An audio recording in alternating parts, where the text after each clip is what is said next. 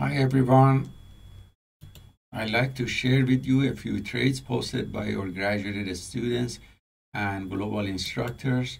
This is a clip from Castro, our global instructors who who's uh, taking a short position on Nasdaq CFD using order flow software and NinjaTrader uh, futures data and applying that and sending the the orders on the MetaTrader 4 using Forex brokers that offers a CFD of NASDAQ.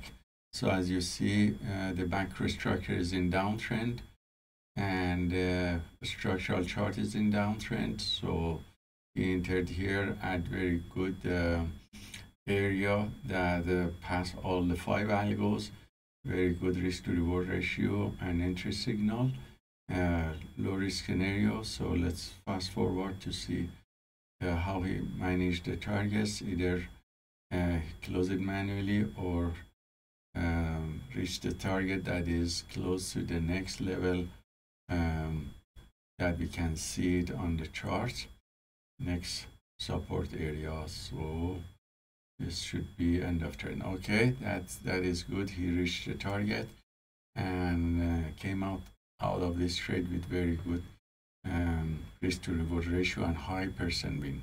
Thanks Castro for sharing this trade with us. This uh, is a picture of another trade by Ren for global instructor and programmer using robot to detect the uh, alignment of the three charts. And in this area, you see that AUD Japanese yen sent signal on 5th of July and he waited uh, for the price to come back to the overbought area and short it.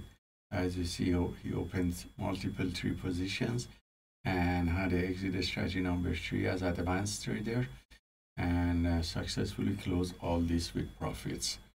And thanks, Rand, for sharing this trade with us.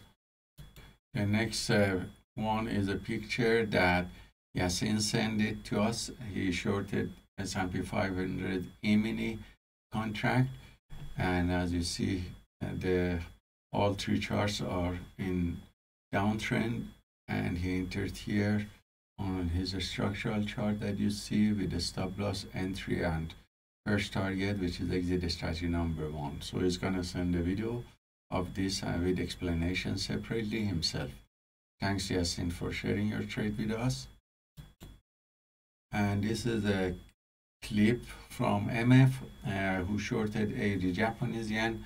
Again, the three charts showing down trend moves and he, as you see, he entered in this area with with you, you have a channel with proper risk to reward ratio and also entry signal and trailing now the stop loss from initial loss to trailing and minimize the risk and he closed his position manually.